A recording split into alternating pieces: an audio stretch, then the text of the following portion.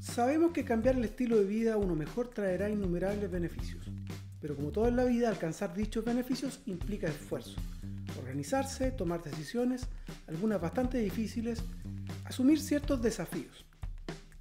Por lo general cuando hablamos de mejorar el estilo de vida, hablamos de tener un estilo de vida más saludable, mejorar la alimentación, hacer ejercicio, tener tiempo libre y mantener bajo control el estrés.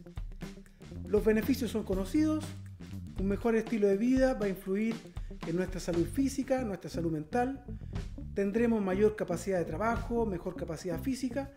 En definitiva, mejorar el estilo de vida nos lleva a mejorar la calidad de vida. Pero como mencionamos al inicio, este cambio de estilo de vida involucra esfuerzo, requiere tiempo y dedicación, ya que existen ciertas barreras, ciertos retos que debemos superar. Estos retos o desafíos pueden ir desde agregar un poco de orden a nuestro día a día, para reservar tiempo para el ejercicio o para mejorar la alimentación, o pueden requerir más esfuerzo cuando implica dejar algunos hábitos fuertemente arraigados como fumar, o realizar cambios difíciles como trabajar menos o incluso cambiar de trabajo. Dependerá de nuestra situación actual, de nuestra situación inicial, el número y la magnitud de ajustes, de desafíos que tendremos que superar para tener un mejor estilo de vida y mejorar nuestra calidad de vida. Ahora es claro que sin disposición al esfuerzo que requiere cada caso en particular, no lograremos pasar la barrera que nos llevará a los beneficios.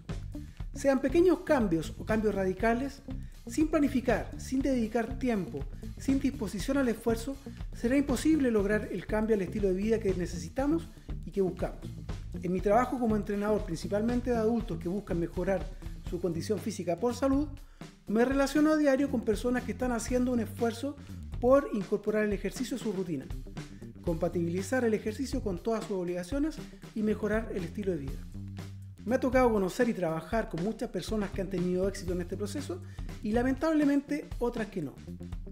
El secreto de las personas que logran tener continuidad con el ejercicio y que han logrado un cambio en el estilo de vida es que están convencidas de que hacer ejercicio es importante, planifican su tiempo, le reservan un espacio al ejercicio dentro de sus rutinas.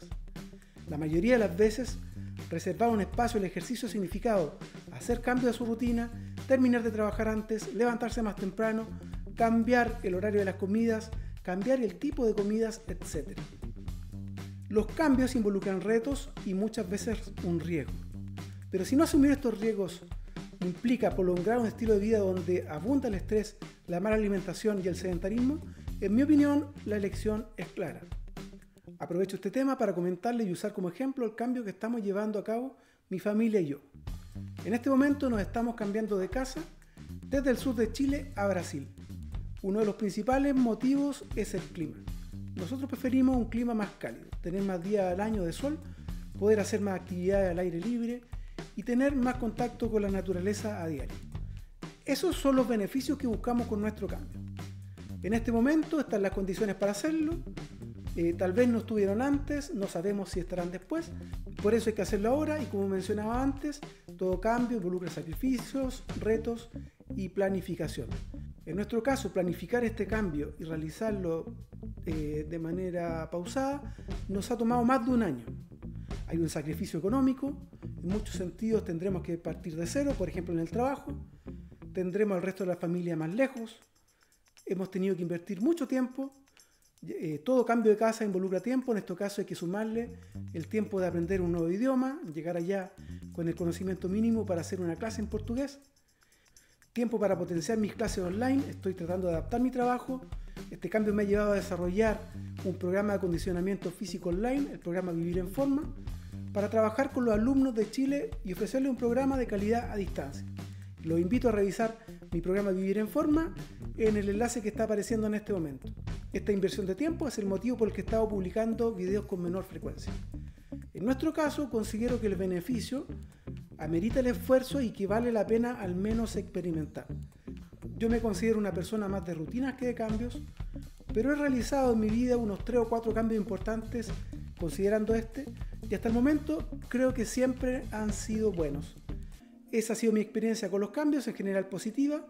En las elecciones siempre se pierde algo, pero el balance hasta el momento ha sido positivo y creo que se debe a que el norte siempre ha sido mejorar la calidad de vida. En ningún caso planteo que sea requisito cambiar de país para mejorar la calidad de vida. Cada caso es distinto, cada persona sabe lo que necesita o debe buscar lo que necesita. Este capítulo solo tiene por finalidad reforzar la idea de que cambiar el estilo de vida involucra una serie de desafíos. Requiere esfuerzo, requiere planificar, compromisos y a veces cambios radicales, que si se está en condiciones de hacerlos, un gran cambio, si se está en condiciones de tomar una decisión drástica y si de eso depende el alcanzar una mejor calidad de vida, yo creo que vale la pena intentarlo.